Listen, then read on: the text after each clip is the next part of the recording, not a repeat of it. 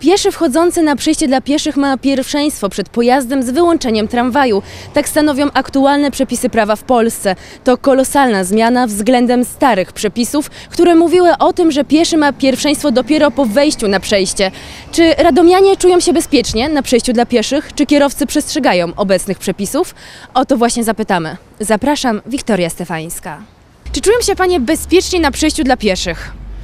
Ja to się rozglądam zawsze. I w lewo, i w prawo, bo ja nie wierzę kierowcom. Niestety. No zatrzymują się, niby się zatrzymują, ale nie no ale... wszyscy. Ale nie wszyscy, no. Nie wszyscy, no. Także, że dla bezpieczeństwa to się obejrzę i w lewo, i w prawo dopiero przechodzę. On się ma prawo, najpierw obowiązek zatrzymać, a dopiero pani powinna przechodzić. Nie wpadać na ulicę, bo może być różnie. Jak będzie ślisko, to panią zabije. Czy prze, y, zrobię pani krzywdę. Kierowcy po zmianie przepisów przestrzegają tych zasad, zatrzymują się? Raczej tak, tak. Do- No, przestrzegają tak zasad.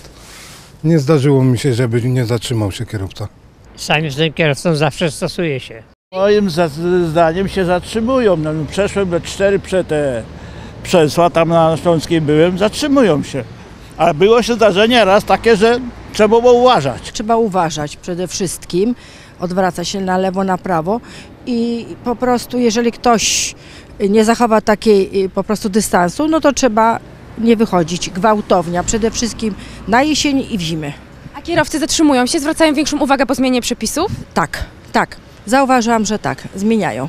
Mhm. Jestem z tego zadowolona bardzo. Wydaje mi się, że zachowują, bo ja sama jestem kierowcą, to staram się zachowywać. A właśnie, po zmianie przepisów pani bardziej uważa, jak jedzie autem? Uważam, uważam bardziej, bo są mandaty większe i punkty, uważam, ale zawsze uważałam.